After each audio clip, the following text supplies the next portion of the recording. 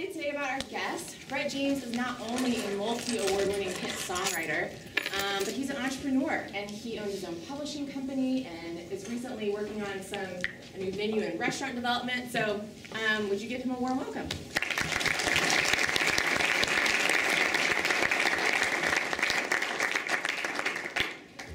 So let's, let's start out with your pretty simple path to where you are today. Um, As I understand it, you started out in med school, you got a record deal, that didn't go anywhere, you went back to med school, and then you got all kinds of song pickups about that time. Is that close? That's pretty close, pretty, Yeah. pretty straightforward path to uh, where I am now. Yeah, they all are, right. Um, yeah, I didn't have, I mean, I didn't, if I, if I had to do over again, uh, what I do now, I would go to Belmont, and I would major in, which you guys are majoring in, but, um, that wasn't on my high school agenda plan, so, um, my dad was a doctor, my grandfather was a doctor, I thought, well, I'll be a doctor. And so I went to Baylor in Texas undergrad, and then I went to back home, I'm from Oklahoma, University of Oklahoma, went to med school there. And, uh, the summer after, anybody ever been to Kanakuk, the little sports camp in Missouri? Anybody ever been there? Some of you guys probably have. Um, I took my, I worked there as a counselor right between my freshman and sophomore years in med school, and made a thousand bucks. And took that thousand bucks and uh, you know to whatever studio was there in Oklahoma City and recorded the five five of the first ten songs I'd ever written. I, I just decided. I went to a concert one night in Oklahoma City and thought I watched the guy. Steve Wariner was his name. It was probably some Steve Wariner fans. And I, I thought, you know, I think I could do that, and maybe I should play around with this. So I started writing songs, and um, did a little really bad, you know, five-song cassette demo there in Oklahoma City, where I'm from, and uh, sent it to my one. I had one huge contact in the music business. Uh, one of my best friends from college was an intern in uh, college radio promotion in Ann Arbor, Michigan. So that was my big The hub of the connection. Yeah, exactly. Yeah, yeah. So I had this huge in, and I knew there was no way that I. Intern in Ann Arbor. Exactly. So I sent my little cassette to my intern friend, her name was Deb, she lives here now, and uh, Deb gave it to her boss. And her boss was not a big wig then, but had been in the past. She had run a, a big record label in New York called Atco Records and discovered INXS and some people like that. And uh, so one day I get a call from her boss, and she says, "Man, I really think this is good."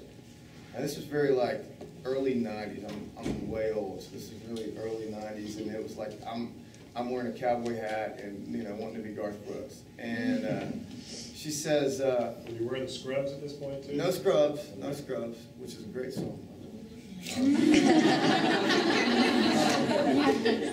So I'm, uh, yeah, I'm in my Wranglers and my Ropers and my cowboy hat, and she says, uh, when, you know, I'd love to introduce you to some people in Nashville. I said, well, that's great, but I'm in medical school. And she said, well, when can you come to Nashville? So I said, well, spring break. So spring break in my sophomore year in med school, I got my little Datsun, not a Nissan, it was a Datsun, before they were called Nissan. Uh, I had a really old crappy Not 180,000, yeah, mile Datsun Maxima. Yeah. And uh, it wasn't the same color that it had been originally. and uh, drove to Nashville. And uh, she took me around a couple record labels. She patted me on the head and politely said, "No thanks, you, you suck." And um, and the third record label she took me to, just I don't know, we kind of lucked into a meeting. Actually, those were our only planned meetings, and all of a sudden, we lucked into this meeting with a guy named Tim DuBois. And some of you guys probably know Tim. He's, I'm sure he's spoken here. Um, and Tim heard my stuff, and at the time he was the president of Arista Records. And Arista Records was killing. Um, his first two acts were Alan Jackson and Brooks and Dunn, and at the time they had six acts on the whole roster, all of which were had sold at least seven hundred thousand records on, the, last albums, and they were just killing it. That was like the label you wanted to be on. And he looked at me across the desk my third day in Nashville and said, "Mister, if you leave here, I'll give you a record deal." And I was like, I don't even know what to do with that at that time. I'm like, you know, what do you mean if I move to Nashville, you're going to give me a record deal? So he gave me a cell number and said, if you decide to do it, call me, and uh, we'll do this. And uh, so I was obviously very encouraged, uh, but I was still a medical student. So I went back, uh, finished that year of med school. Well, I want to hear this conversation with your dad, who's a doctor. You know, uh, it was an easy conversation. My dad, uh, who was a doctor, was also a frustrated singer. My mother was a classical pianist. And uh, my dad, by that time in his career, was kind of sick of being a doctor, and Well, um, those are tough doctor times. They were too. tough doctor Managed care times. was coming hard. Absolutely. When I was in healthcare. the business had changed a lot since he got in, in it initially, and he, he kicked me out the door. He said, man, if you get a chance to do something like that, you should try. Kind of like if you never, try- if you don't try it now, you'll regret it the rest of your life, kind of deal. And so, uh, I finished that year of school and took my medical board exams, my sophomore board exams, and the next day I got and doctor and drove back to Nashville. And I thought I was just gonna take a year off. Um, All they'll let you have in medical school is one year leave of absence. Um, so, you know, but I very naively thought that in a year you'd, you'd know whether you're gonna be a star or not. You know, I'll figure You it had a out. record deal. I mean, I what could possibly go Theoretically, I had, a- I had the offer of a record deal if I moved to town. That's what I had. Gotcha. Um, they always tell the truth on music. Exactly. So, you know, I, I landed in Nashville and, uh, and immediately knew I wasn't ready to have a record deal. Um, that was the first thing that, that, that was probably one of my wiser, I haven't made many wise choices in my life, that was one of my wise choices that when I got here and started going around and seeing what kind of talent there was at Belmont and what kind of talent there was at local clubs and things like that, I was like, I know I'm not ready for this. Um, so I didn't call him for nine months after I moved to town. Um, I, I took a job waiting tables at Midtown Cafe and started playing all the open mic nights that I could and, and playing all the clubs and getting my music out in front of as many people as I could. And I was very lucky then as well it- that it only took me about three months to get a publishing deal. Um, and that was a big day that I got to, you know, leave the, leave the, the waiter, leave the restaurant and tell him that I, I was actually gonna get paid to write songs. Um, but then six months after that, after I'd actually written some songs that I was proud of, done some actually real recording, then I went back and called Tim DuBois and said, hey man, I don't know if you remember me, it's been a year, but you told me a year ago if I moved to town, you- you'd give me a record deal. What do you think? He said, well, come in, let's have a meeting. So we had a meeting, let's do a showcase. Um, I was the first artist that ever played the Wild Horse Saloon, little piece of trivia. The- The week it opened, um, I put a band together and played five days at the Wild Horse and made sure our act was together. And then the, the next, the sixth day, I think, we invited the record label out and I did get a record deal. Um, and then proceeded to be a failed artist for the next seven years. And, um, and, and that's an interesting thing because, uh, yeah, this is a really long story if I'm boring you guys, just tell me. Um, I, uh, you get your record deal and everybody, and literally, I, I got the record deal everybody wanted. I mean, there was not a person in Nashville that didn't want that deal, and I beat out a hundred other guys for the slot, you know, it's like, wow, this is pretty heavy stuff. And all of a sudden, I'm walking around and people are treating me like I'm already Garth Brooks, I'm getting just, Everyone wants to write with you. Everyone, I'm getting around with everybody that's ever written a, a smash, and, you know, I'm getting treated really well, like, man, I must be good. And all of a sudden, you kind of looking in the mirror going, wow, this is pretty cool. And, uh, you know, get a publishing deal, and now you're getting paid to make music, and this is great, this is awesome. And then your first single comes out, and it stiffs. And then your second single comes out, and it stiffs. And then all of a sudden, you know, you're three or four years into the process, you're like, uh-oh, maybe I'm not Garth Brooks after all. What do I do now? Well, you know, fortunately, they, they kept me on the label for two or three more years, and you regroup like you do, you change producers, you change direction, whatever you do, you're trying to make it work. So, long story short, is seven years after getting that record deal, um, I lost my record deal, and I lost my publishing deal. And at that time, this was the nineties, my publishing deal was pretty big, I was like, living fat, and this is great, blah. Um, and in the meantime, I've had two kids. And so now I got a wife and two kids, and I've been in town for seven years, and I've lost my record deal, and I got a publishing deal that's worth a third of what my, my last one was. And I'm like, this is not good, I'm not going the right way in this music business, I need to figure this out. Um, it was also the late nineties, and, um, you know, country music especially does this. You know, right now, country music is, is screaming. There'll be a time where pop music sort of makes a comeback, or rock kind of comes back, and country does this. It's just, it's a natural ebb and flow of people's listening taste. Um, and the, the early nineties were the greatest boom we'll ever see in country music. Um, and the late nineties, it just nosedived. And so not only was, did I lose my, you know, my publishing deal got cut by a lot, but, you know, I think our professional writing staff in Nashville from nineteen ninety-five to the year two thousand probably went from about twelve hundred signed writers to something like two hundred and fifty. So there were lots of people out of jobs in our business.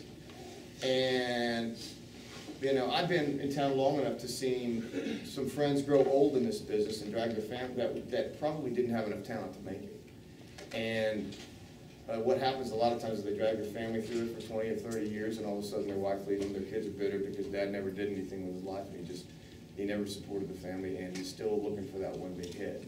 And I didn't wanna be that guy, to be honest with you. And it got to the point where I was embarrassed to walk into my publishing company, because I've been in town for so long, and things weren't going well, and I'm just like, I gotta make a change. So, uh, after being in town for seven years, uh, true story is I had a panic attack in Target on White Bridge Road one day, the only panic attack I've ever had. I wanted to buy my kid this ten dollar pair of shoes, and I was like, man, I'd really like to buy my kid that ten dollar pair of shoes, but I can't afford it. And that's uncool, and I'm not living like this. And so I, I wrote a letter to the dean of the medical school and said, I know I've been gone for seven years, is there any way I can get back in? And, uh, she wrote me back and said, we don't normally do this, you're only supposed to get one year off, but if you're willing to repeat the year that, you know, repeat a year to get back up to speed, we'll take you right back. And so, um, in nineteen ninety-nine, after being here for seven years, I, uh, I, I didn't tell my wife I wrote that letter, and I came, kinda came home one day and said, "I'm- I'm going back to medical school in Oklahoma, and, uh, that's what we gotta do, and she was cool. Um, so, I went back to med school on September first, and, uh, of nineteen ninety-nine. I'd started kind of writing, I had one writing partner here, who's still, I share office buildings with, we own buildings with, he's one of my best friends in the world, named Troy Verges. And, uh, Troy was, Troy had been our intern at my publishing company, but he was a great songwriter, and we started writing this cool stuff. And I told Troy one day, I said, look, I'm going back to med school. Um, sorry, I know we're writing cool stuff, but I'm gonna be living in Oklahoma. And he said, no problem, man, I'll just come to Oklahoma. And so Troy, uh, a week a month would fly from Nashville to Oklahoma, and I'd go to pathology or whatever I had that day, and I'd come home at one or after labs or whatever, and we'd write songs until one or two in the morning. We'd write seven or eight songs a week. And I sort of had that kind of, I'd been in town for seven years, and I was a little bit like, screw it, I'm not gonna try to write. I got a job, I'm gonna be a doctor, I'm gonna write what I think is cool now. And instead of trying to fit into that box. And, um, you know, I started school on September first. Faith Hill cut one of our songs on September fourth. It ended up on her Breathe album, it's late eight million copies. And then, for whatever reason, while I was in med school for the next nine months, I got thirty-three of my songs recorded and had five top ten records that, that year. And I'm, you know, my, my, my publisher's calling me, and I'm, I'm in the library at med school, she's going, you're not gonna believe this, but Tim McGraw just cut your song and it's his first single, or, you know, whatever. And it was, so it was pretty cool. And, um, after that year and all those cuts and five top ten records, I had to look in the mirror again and go, well, now I got a job back in Nashville, so I quit med school for the second time. So I'm, I'm a, oh, by the way, I also I bet- got, I bet the dean didn't quite have the same reaction your dad did. you know what, she, it was funny, man. Um, it was pretty crazy. I, uh, our meeting with her went like this. Uh, I was, I was scared to death because she had pulled all kinds of strings to get me back into school. And all of a sudden I had all the success that she didn't know about. And I was scared to death. So what I did is I literally, on a piece of paper, I wrote down all the artists and the songs that they'd cut of mine while I'd been in school that year. It was, it was a pretty, you know, great list. You're talking Kenny Chesney and Tim McGraw and, you know, all these cool, cool people. And, uh, thank God, I had no idea she was a country fan. So I walked into her office and I said, look, here's what's happened in the last nine months to my, like, music career. And I was kind of like, what do you think? She's like, she looked at, she goes, oh my gosh, you've got to go. You've got to. Th- Those are awesome songs. I love that song. This is- this is a nerdy med school. So it's thing. kind of, Yeah. yes, but she turned, then she looked at me, and she goes, but you're never coming back. She goes, I feel this year I could and we're done. So I'm a two-time med school dropout, and, uh, I failed to mention, I failed to mention I got offered another record deal while I was in med school from Arista, again, under a new regime run by Joe Galante. Um, did another record for them the next year in two thousand, my single stiffed, and, and I failed twice as an artist, and failed twice as a, as a med student. so. But the the songwriting thing seems to be working out. Songwriting thing has been fantastic. Yeah, yeah. So you've now taken that and, and really started to, to diversify who you are and what you are as as a business owner, basically. Talk about kind of the steps you've taken along the way. You started to have some success and kind of walk us through each of the the progressions of, of how you got into each of the new ventures that you've done and. and Sure, Walk us sure. through that. Well, I think, I mean, I think for me, uh, everything about the music business is entrepreneurial. I mean, there's, there is no, there is no, you get a job in one of the, the, the big three, you know, music firms hires you and they put you in, you know, you go to work sixty hours a week, that just doesn't exist. Um, I think what we all have to do is figure out what we're good at and figure out how to apply that and figure out, you know, something that we do as good or better than anybody else and put ourselves in, in, and find a way to get that, make that happen. Um, and you And guys. It's are- often a surprise. and it's often surprising, you guys are growing up at a very different time, you guys are going to college in a very, very different time than I was. I mean, it was more like that, honestly, it was more like the big guys ran the music business and you were just trying to knock on their door and, and somehow bust through. Obviously, it's all entrepreneurial now, I mean, there's still some major record labels, but as you guys know, you guys have, I'm sure everybody in this room has a Facebook presence, a Twitter presence, everybody in this room is, is, you know, out there, you know, kind of being entrepreneurial today, online probably. But we didn't have those, resources, we didn't know how to do that, so we kind of had to knock on the doors and, and just ask the big man for a record deal or a publishing deal or whatever that looked like. Um, for me, it, it just, you know, you kind of also have to take what's put on your plate. Right. You know, um, I, I'd started just having insane amounts of success at the start of like 2000, 2001, 2002, that little run. Um, you know, I was just, you know, I was just cut up, you know, it was, it was stupid. I was getting 35, 40 cuts a year and having, you know, hits all over the place. And, and so all of a sudden I kind of woke up, you wake up and you go, wow, I'm, I'm a hit songwriter. I got to figure out, you know, what do I do next and how do I keep this going? I mean, that's the challenge now. Now, you know, now, now I look in the mirror and everybody goes, man, he's the old guy who's had lots of hits. So how do you reinvent and become the young, new hip guy again? You know, that's part of the problem. Right, you don't want to be the guy whose songs get sung out at the Grand Ole Opry. No, Yeah. you never want to, be. you don't want to be that guy yet, anyway, you know. Someday. And- Exactly. So, you know, it's all about taking what's given you. I mean, you, you know, and, and having as many skills as you can. Um, So what was the first big, different kind of opportunity besides just writing songs and well, pop for me, production, I mean, you know, I don't produce a lot. I, um, the only act I produce officially right now is Kip Moore. Anybody ever Kip Moore? Yeah. Um, he's the only act I produce right now. Um, but he also writes for my publishing company. Um, the reason, I mean, straight up, the reason I don't produce more records in, in country music is because there's not much money in producing country records, to be flat honest with you. There used to be lots. Um, back when you could produce an album and it sold ten million copies, that was different than you produce an album and it hundred thousand copies, it's great.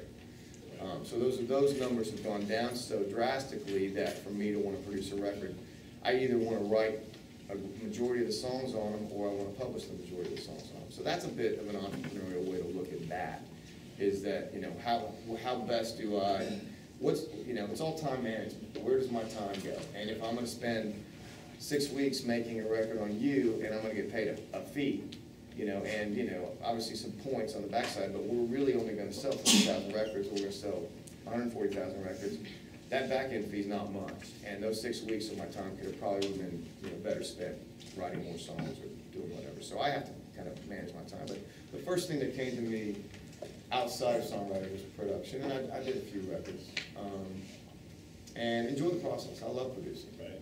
Um, I love the creative, I love parts of producing, the parts of it that are just tedium, as you guys know that spend time in the studio, but, um, the other parts of the studio that are, you know, are, can be just spectacular and lots of fun. And if you're working with the right artist, it's, it can be magical. So I love that process.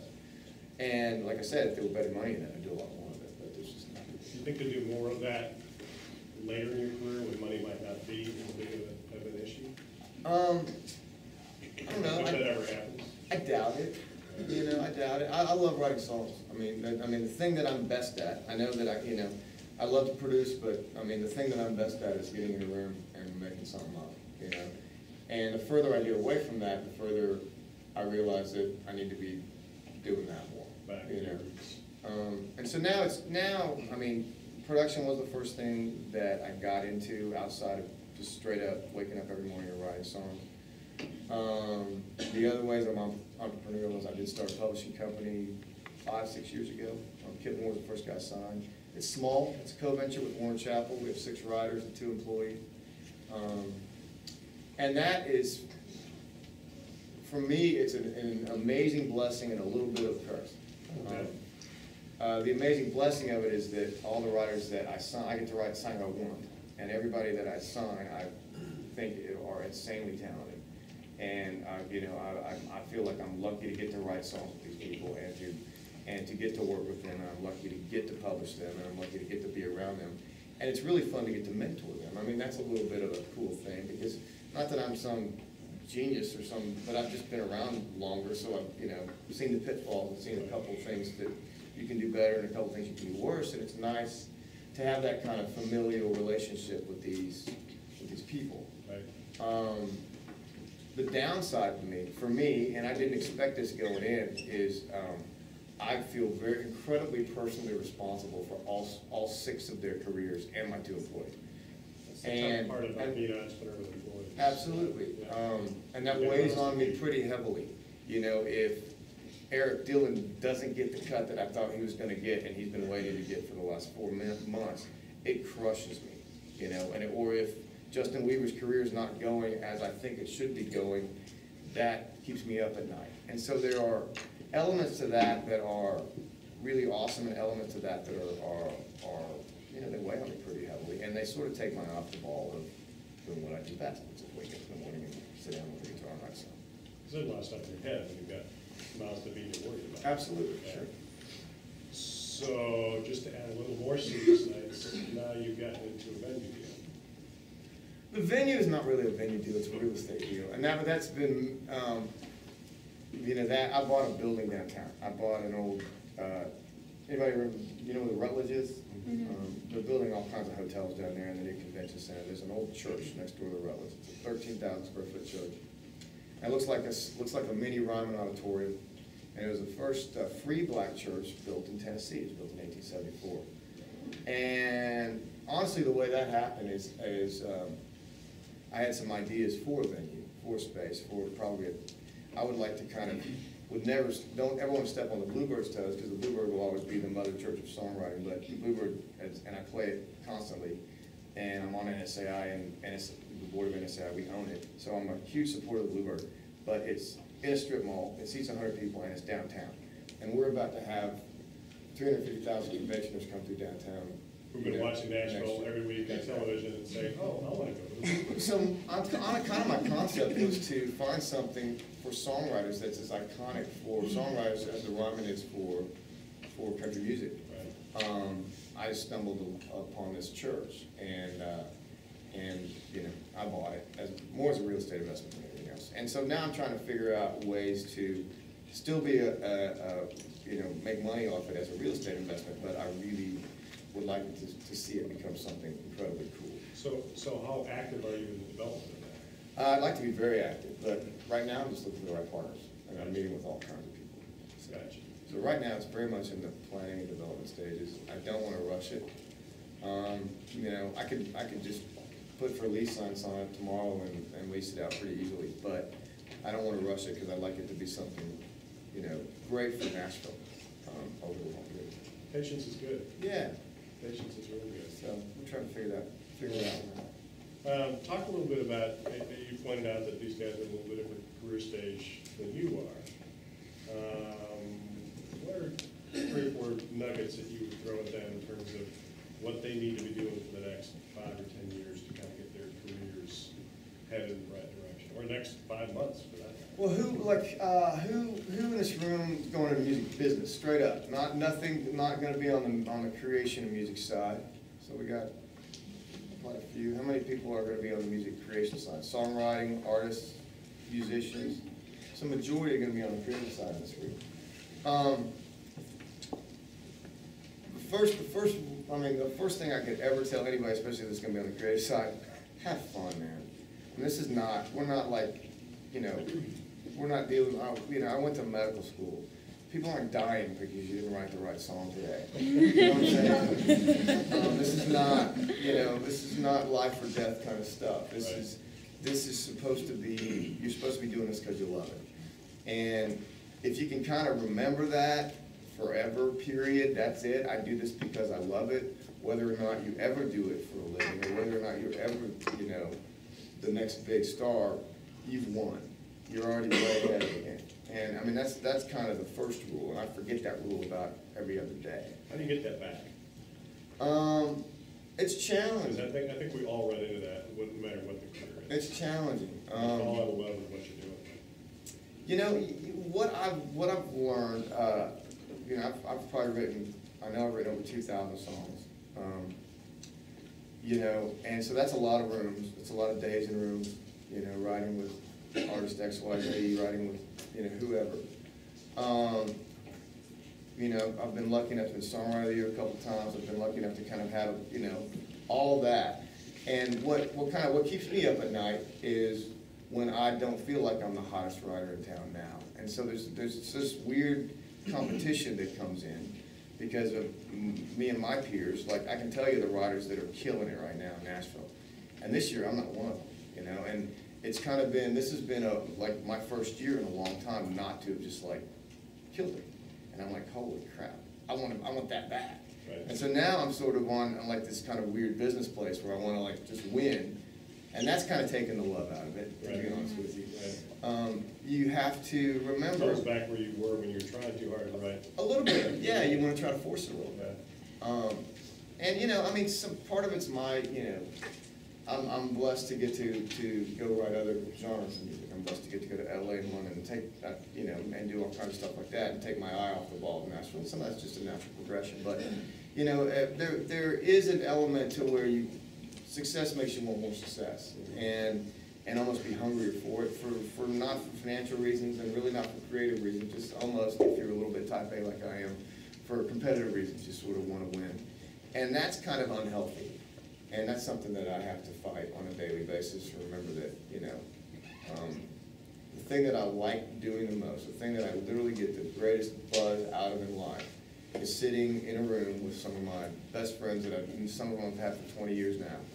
And, and, and some of them are, and, you know, all of them have had hits, but all of them I knew when I was twenty-two, or most, a lot of them I knew when I was twenty-two and twenty-five and twenty-six. And making something up and hoping somebody cares about it. You know, that's, that's the great joy of it. And, you know, I really have come to that kind of place in life, and I enjoy a lot, I have a million different hobbies, I'm a, you know, I love, I'm a crazy sports freak, and I'm a crazy this freak, and crazy whatever, but ultimately, there are moments in my week when I look at my, when I sit in a room and I'm like with two, one or two insanely talented people, and I just have that, still that flash of like, what in the world am I doing here? You know, and, and if I can kind of Well, keep I'm my. back in that Target store again, trying to buy that toy. Yeah, well, it's not even that, but just what am I doing? How did I get this lucky? I mean, those are the, that's what I mean by that. You know, how did I get this lucky that I'm sitting here right now? Is that when you And get the joy back, when that happens? absolutely. Do you have anybody, uh, who kind of externally gives you a little kick to get you in the right direction? Not really, not really. I wish I had, I wish I had somebody. You know, it's, it's, it's, the other thing is weird about doing it for a while and kind of becoming the boss as opposed to the, the new writer is that there's, there's sort of, um, there's nobody kind of watching me every day going, do this, do that, do this, do that. Right. Um, But the good news is you hire people that are really on your team, you know, um, the guy that runs my publishing, Nate Lauer, for instance. Um, you know, we had, we were having this conversation about just kind of recalibrating, you know, and you always have to do that. I mean, that's constant recalibration, but, you know, he's like, so he, you know, calls me yesterday afternoon, can I come to the house tonight? And we spent four hours in my studio at the house last night, just talking about songs, talking about ways that we need to, you know, what can we do to make this better? What can we do to make this different? And so you don't have, then the hard part about, you know, like being the boss is that you don't have the guy going, do that, do that. Right. But, but hopefully you have team members alongside you that care enough about you, like Nate does, that, you know, I know he's, I know he's busting his butt today at the office. I found, being an entrepreneur in a totally different industry, it was really important for me to have some people on the outside, almost like accountability people who would, if I got a little bit too big for my britches, would kind of set me in line. Absolutely. Uh, Well, the music business will set you in line any, any day. Well, that's true. If you too big for your britches, it'll, yeah. it'll But kick you al- I around think pretty good. Also, just to kind of be an accountability cop for me once. Sure. I think it's that's, really uh, important. So fun, all right, that's rule number one. Mhm. What else? Uh, work your tails off, you know, um, you know, my dad gave me, you know, my dad never wrote a song in his life, but, you know, you know, some of the best advice I ever, he ever, you know, told me when I first moved to town is just remember, every day you don't write a song, there's a lot of other people that are. And that's pretty good advice, you know, there are, uh, it's, as you guys know, I mean, songwriting, the art, the, the, the music business, um, is insanely competitive. There are just so many wonderfully talented human beings that God has made on this earth. And, and so, you know, I think that if you have that level of talent and then are willing to, you know, put in the sweat, that's where, that's where it pays off. You know, so, I mean, work, work, work, work, work, work, work, work, work. You know, have fun while you're working because probably if you're gonna be successful in the music business, you're gonna do a lot of working. So if you enjoy it, then it's all good. You know, that's the other line that everybody knows that, you know, if you, if you get to do something you enjoy for a living, you never have to work a day in your life, and that's pretty true. you know. Some might talk a lot with, not only the music business entrepreneurs we work with, but just in general is, um, they don't know this, but they're a little bit more impatient generation than some have been. And, yeah, you do know that, don't you? And, uh, and, and they can't help it, it was my generation that raised them that way, so it's my fault. And, and that's tough in a business like this, is, is being impatient, and, I mean, I mean, look at you, mean, it just, it just doesn't like that. Just overnight. Yeah, I mean, how, um, how would you guide young people who, as a generation, is a little less patient?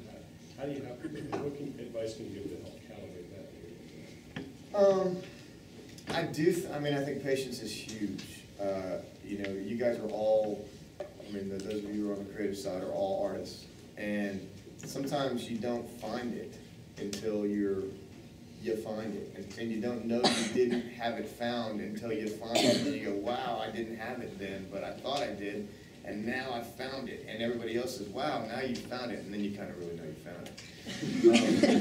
Um, But that's kind of it, you know, I mean, everybody thinks they, you know, you know, when you're doing it, you think you're on it, sometimes you are, but sometimes you're not, and sometimes, you just have to be patient with the process of being an artist, um, and realize that, that music is like any other art form, the more you do it, typically the better you get, you know? Um, that's not always true, you know, um, Paul McCartney's not writing as good a songs as he did forty years ago. So there is some magic dust in there that you can say, well, there was a time Right. when, for whatever reason, the creative skies opened up and fell down on McCartney and Lennon for those seven years. And, you know, McCartney continued it with Wings for a little while, but, you know, he's not writing yesterday right now. And Billy Joel's not writing the kinds of songs he used to write. And Paul Simon's not writing the kinds of songs he used to write. Right? And so you can look at, I mean, yes, there is a creative window. And so the other thing is when you find that place where you are, when it's just money, that's when you want to keep working and working and working. And, and songwriting, if you do it over a long period of time like I do, you kind of feel it. You kind of know when you're, when you walk in a room and it just flies out of you and you know it's great and you're confident about it. Or there are other times when you walk into a room and you just, you're fighting every word and nothing, everything sucks. And why am I even doing this? And, you know, there's those days too. So, you know, my best example of that, I'll give you a great example. And, and this is something that, as, an older guy in the business, I've learned a lot from Kip Moore. And he's kind of my little brother now because we've been through a lot of wars together. But I signed Kip Moore. Um, those of you guys don't know who he is. He's, he's doing great. He's about to have his third number one single. He's, you know, his first single did two million. His second single did two million. He's doing great. Um, but he, uh, he wrote for me for about two and a half. When he walked in my office, he sat down, and he'd been, it was, I'd seen him at the Y for six months. And just, you know, incredibly cool, he'd come up and go, hey man, you know, I know you're busy, but if you ever got a minute, I'd love to kind of play you some stuff. It was one of those deals where I, I, he was a super nice guy, so I meant to, but just didn't have time, and so six months go by to the point where I'm like, I don't wanna walk to the Y, because I'm gonna see that kid guy, and I'm gonna have to apologize again for not being able to get together. So finally, he goes and meets with a buddy of mine who's head of A&R at Universal, Joe Fisher. And Joe Fisher called me one day, he goes, this guy walked in my office, his name's Kip Moore, he says he knows you. He's good, you should meet with him. I said, send him over now. So he comes over to my office, he plays me two songs, and I knew he was a star. The songs were okay, But all of a sudden, I mean, that's a whole nother tangent I could go off on, but after being around a long time, a star is a star is a star is a star. You know when you see him. And, It's like a and surgeon in med school. sort of like you just know, Yep. you just know Yep. you know. And, and the second song he played me, I said, okay, you got a publishing deal, what else can we do? You know, you're a star. I mean, I didn't tell him that, but I'm thinking, this guy's a star. So for those of you who are worried about patience, two and a half years go by. We, you know, we immediately, I thought he was ready, he thought he was ready. We immediately went out and did a showcase for all the labels and everybody kind of thought it sucked, you know? Wasn't good, I don't know, I was on stage, I thought it was great. We get just very mediocre feedback. And I'm like, okay, well, we're not on it yet. So we kind of do regroup. So literally, two and a half years go by from the day I signed him. And about two and a half years in, for Kip, it was very much a could have gone either way kind of thing. He wasn't writing, he was writing a lot, but he wasn't writing great songs. Um, he really wasn't that great a musician. He was a good singer. Um, his guitar playing was horrific. I remember he used to like sit in our office and, you know, he was, he was trying to get better. So he'd YouTube things and he'd be sitting in my office and practically lived there. And I remember walking into my assistant one day going, he doesn't even need to be trying, man. This guy's, you know, either you got it or you don't. He had no right hand, he had no left hand. I'm like, this guy's, Sounds like my guitar player. yeah, he just, yeah. So I only do it in my living room for my dog. Exactly. So I'm just like, this guy's, And they don't like it. And they don't like it. Yeah. So I'm thinking this guy's just, you know, forget that. You're just always gonna have to take, you, you can be a singer, but you're always gonna have a guitar player. Well, Kip, the other thing about him is he was a two-sport college athlete. He played college golf, he played, uh, college basketball. And he's a great golfer, gonna be a pro golfer at one point. But he understands that mentality of, okay, if I go to the driving range and I work on my grip, and I work on my form, and I work on my backswing, and I work on this, then I will, and I hit eight million golf balls, I'll get better at golf. And that was sort of his mentality, which never has been my mentality in music. Everything is, for me, it's always been just, I can sing, I pick up a guitar, I can kind of play. You know, I'm not, I'm no great, I'm not, I'm certainly not a great player because I've never practiced, but I'm good enough, you know what I'm saying? It's like, for me, it was all, I just thought it was all kind of, well, this is kind of, music's kind of natural talent. Right. All of a sudden, he realized he was in a little bit of trouble, and he, he set his mind to learning guitar, and he started reading and studying every great songwriter there ever was. He bought every book by every great lyricist on earth, and read them front to back and front to back and front to back, and started studying why songs are great and why songs are not great. And literally, a switch went off in, hi- in his head. And this is about three years ago. And um, I will honestly tell you, and I've written with almost everybody, I've never been in a room with a better songwriter than. He is, I think he's Springsteen. I think he's like gonna have a thirty-five year career as, as a- an icon. He's that good. And like, I know the songs that are on his fifth album, and we're starting his second album next month. It's, it's, it's that kind of creative, like, all of a sudden, boom. And he hasn't written a song that I didn't think, it didn't blow my head off in three years. So, there's something to be said for our work and digging in and figuring it out. you know. So, one last question, then we'll open it up. Um, You said you have two kids, Four. Yeah, I had two then, yeah, I had two since. four kids. Uh, Med school or music business? Music business, way more fun. Cool. All right. Questions? It's not awkward for you. Mm, yeah. There, there we go. Um, do you only have country writers, and have you thought about branching out to other genres? Um, I, let's think. I have, about- I write, I love to write in other genres. Um, I'm gonna be at the ASCAP Pop Awards. I get an award for something, Mr. Know-It-All this week, um, LA. Um, and so I love to write. I love to talk more. I mean, I, I mean, when I, when, you know, it's a very different process, but, um, you know, I'll be out next week, working in LA all week, and I won't work with anybody over twenty-five. And I won't pick up a guitar, I won't even bring one to a session. Um, you know, it's a very different process.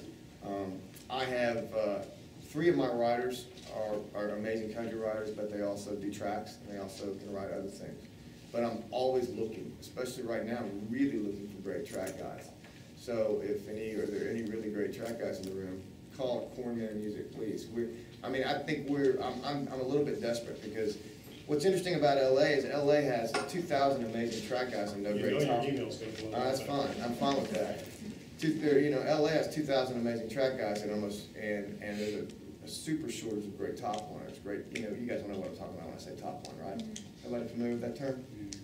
You know, uh, top, if you're, if you're writing a song in Los Angeles, it's usually, you're either writing just to a track, the track guy might not even be there, but typically you just walk in, you might buzz through eight or ten tracks, and go, that one's great. So we write the melody and the lyric on top of the track, so it's called top line.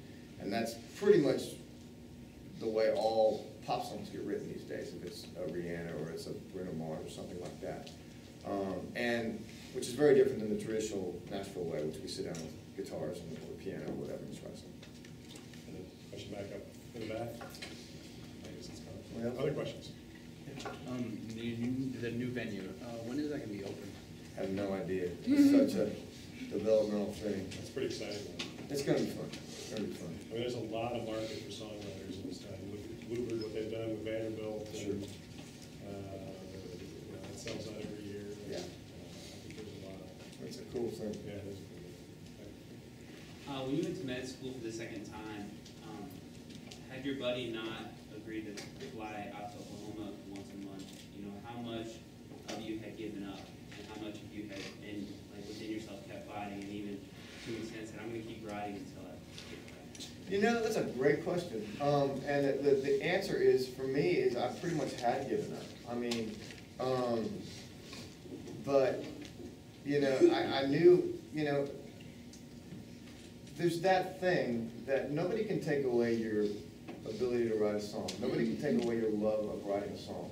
Whether or not anybody cares, doesn't matter, you know, and for me, it was like, you know, the re- probably, honestly, the reason I kept writing a lot that year is because I had just signed a new publishing deal, and with my new publisher, six weeks in, I was his only writer. Mark Bright, he's probably spoken to you guys. He's Carrie Underwood's producer, among other things, but Mark, I was his only writer. And, you know, I, I was like, so I sat him down to breakfast, and I said, look, I know I'm your only writer. I know you're just starting this company. But I'm going back to Oklahoma to med school. Is that cool? You know, and which was a bit of a shock to him. And he was completely cool about it. He understood the need to feed your family. And he said, yeah, man, you've got a year in your contract, let's see what happens. So if I hadn't had that publishing deal, I might have just quit altogether. But it, it was kind of a, the way it worked out was it was very freeing for me. Um, you know, um, I literally said, screw it, I can write what I want. And I'm gonna write songs that I think are cool.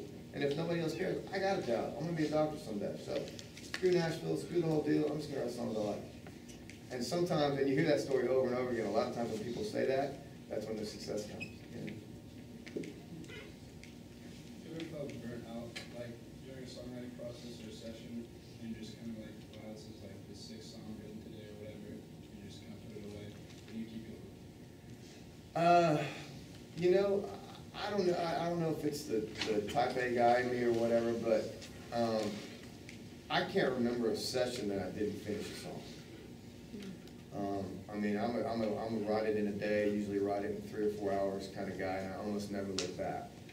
Um, that said, there are lots of those songs where I'm in there and, you know, it's one thing if you're writing with writers, it's another thing if you're writing with an artist. And if the artist is no good and you're writing for that artist and they're not gonna be any good and it's just gonna be what it is that day, sometimes you just finish the song to get the heck out of the room. So I've done, I will admit to doing that sometimes, yes. And those are like. We won't ask you with who. No, don't ask me with who, but a lot of, so there are those days you're just like, oh my gosh, I've gotta get out of here, you know, but usually it's like, throw out a bunch of crap until the song's done, put it on tape, and get the heck out of there, you. So that's, for me, that's the version of sort of burned out in the room. I never get burned out on writing songs, because there's always tomorrow, it's always fun, you know, and I can always mix it up, I don't have to write, and go try to write a Kenny Chesney song tomorrow. That's what I like about what I do, um, and I feel very lucky, I'm one of the kind of few that, that does get to sort of do some cross-genre stuff in Nashville, you know. Um, And I get to write with Daughtry and Bon Jovi on the rock side, I get to write with, you know, the, the pop, you know, the Ester Deans of the world and the, you know, the Will Ams of the world on the pop side. So I'm, I'm really blessed to get to kind of like mix it up a little bit, that's fun for me. Do you have a consistent creative writing process, or does it change with the people that you write with? What was the fir- what was the first thing? Give a cre- a consistent Consistent, creative like, are there things you do when you go into a songwriting session, or when you write a song to, like, the